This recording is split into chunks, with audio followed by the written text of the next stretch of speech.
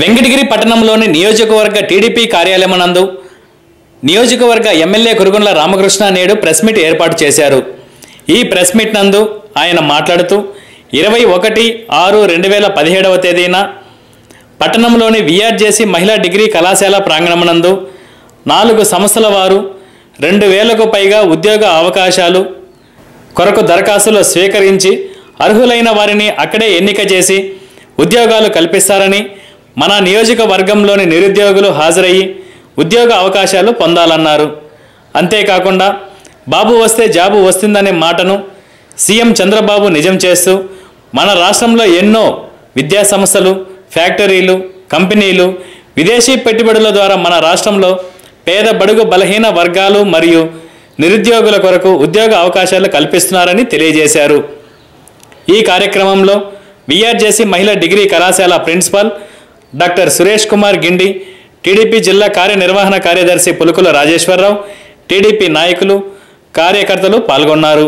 ఇరవై ఒకటి ఆరు తారీఖున మన వెంకటగిరిలోనే VRJC women's degree college Venkatagiri. ఇరవై ఒకటి ఉదయం మళ్ళీ ఇంటర్వ్యూలు పెడుతున్నారు. అయితే అన్ని కంపెనీలు కూడా ఇప్పుడు విడిచిన లిస్టు ప్రకారం పదహారు కంపెనీలకి రెండు వేల తొంభై మంది కావాలని చెప్పని చెప్తున్నారు.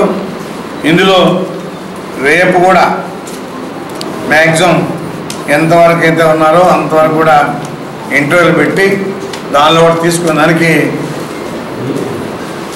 ప్రయత్నం చేస్తామని చెప్పని కూడా తెలియజేస్తున్నాం. ఇదే వెంకటగిరిలో నాలుగు వందల చిల్లర మందిని సెలెక్ట్ చేసి వాళ్ళని అపాయింట్ చేయడం జరిగింది. అయితే వాళ్ళు పోయి జాయిన్ అవ్వాలి. మరి వాళ్ళు కొంతమంది అవుతున్నారు కొంతమంది ఎందుకో మా ఇంటి పక్కనే ఉండాలనో దగ్గరలో ఉండాలనో అంటే ఈ కంపెనీలు మనకి దగ్గరగా ఉండే విధంగా ఉండవు. వాళ్ళకి ఎక్కడైతే ఫెసిలిటీస్ ఉంటాయో పవర్ కానీ వాటర్ కానీ ఇంకా ఎయిర్పోర్ట్ కానీ వాళ్ళకి అన్ని సౌకర్యాలు ఉన్నాయి కానీ కంపెనీలు పెడతారు. అంతేగాని మనం అనుకున్న విధంగా కంపెనీలు రావు. మొదటి ప్రాధాన్యత ప్రతిదీ కూడా కూడా ముఖ్యమంత్రి. మనకి జాబ్ వచ్చేదానికోసమే అందరికి కూడా ఈరోజు బయట దేశాల్లో తిరిగి పెద్ద కంపెనీలు తీసుకొచ్చి మరి ఈ జాబ్స్ ఇప్పించాలనే ఉద్దేశంతో మన ముఖ్యమంత్రి ఉన్నాడు.